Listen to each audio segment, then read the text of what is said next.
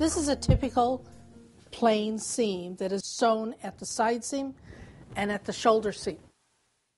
We're ready to start sewing our practice seams. We're always going to sew with following a guide on the machine and in this case we're going to show you the guide here which is a 5 8 inch seam guide that I've marked in red and she's sewing the plain seam with two layers of fabric about 3 inches long and 9 inches down and she's sewing the plain seam, making sure she's following that guide. And at the end, she will do a back stitch also because she started with a, a back stitch to start with. Completing the seam, pulling the thread again at least five inches long, and now she's ready to go over and press the seam open.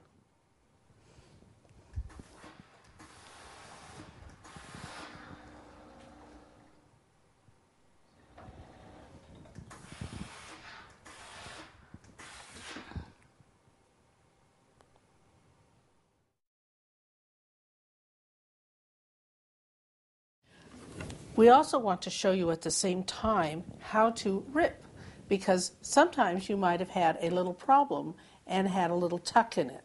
So we're going to show you how to rip this thread very nicely is by clipping about every inch or three quarters of an inch, clipping your thread, just turn it to the other side, and then you'll be able to take the thread and just rip it out, and then you'll pick out the extra threads and then move the, move the little tuck out or press it out, and then you'll be able to put your pieces right back together, lay it back down, and continue sewing again.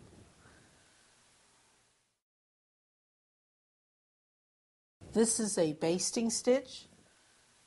Start by adjusting the stitch length on the machine to the longest possible stitch length. Notice the stitches on the left are the long basting stitch and the stitches on the right are sewn with a standard stitch length 10 to 12 stitches per inch. We're going to start with no back stitch, continue stitching all the way the length of the seam and again no back stitch.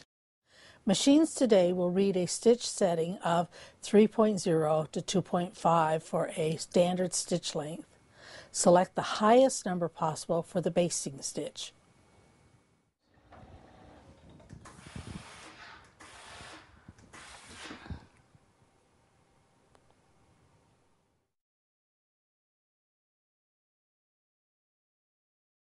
Welt seam is a plain seam with both seam allowances pressed to one side and then held in place with one row of top stitching. To sew the welt seam, Lindsay is first sewing a plain seam, starting with a back stitch, sewing the entire length of the seam, and finishing with another back stitch.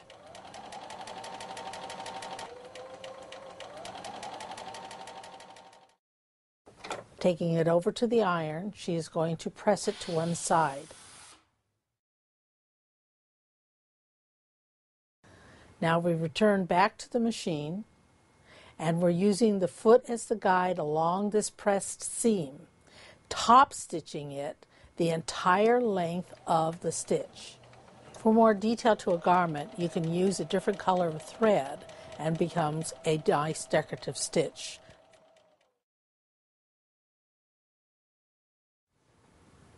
The next seam that we are going to do is an open welt seam, which is a seam with a decorative finish. And in this instance, Lindsay has already sewn the basting stitch and pressed the seam to one side. And now Lindsay is top stitching, again using the presser foot as the guide for the full length of the seam. We're going to remove the basting stitches from the inside. And we remove them out of here. And it becomes what we call an open welt seam or one with a little pleat, which gives you a little more decorative stitch to your garment. Isn't that neat?